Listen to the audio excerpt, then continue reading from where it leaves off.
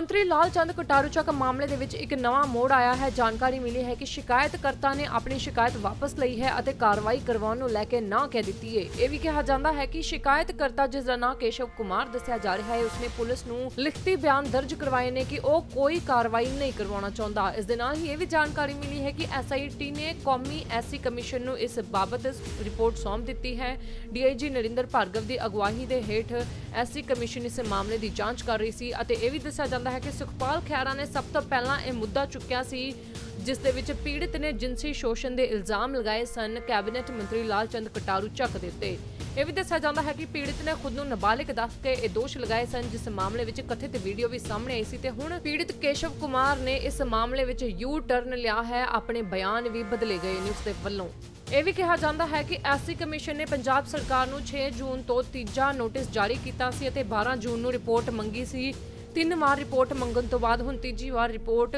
ਸੌਂਪੀ ਗਈ ਸੀ ਐਸਸੀ ਕਮਿਸ਼ਨ ਨੂੰ, ਐਸਆਈਟੀ ਦੇ ਵੱਲੋਂ ਤੇ ਇਸ ਰਿਪੋਰਟ ਦੇ ਵਿੱਚ ਹੁਣ ਦੱਸਿਆ ਜਾਂਦਾ ਹੈ ਕਿ ਪੀੜਤ ਨੇ ਕਾਰਵਾਈ ਕਰਵਾਉਣ ਨੂੰ ਲੈ ਕੇ ਨਾ ਕਰ ਦਿੱਤੀ ਹੈ। ਹਾਲਾਂਕਿ ਵੇਖਣਾ ਇਹ ਹੋਵੇਗਾ, ਇਸ ਦੇ ਉੱਤੇ ਹੁਣ ਕੀ ਸਿਆਸੀ ਜੰਗ ਛਿੜਦੀ ਵਿਖਾਈ ਦਿੰਦੀ ਹੈ ਬੀਤੇ ਦਿਨ।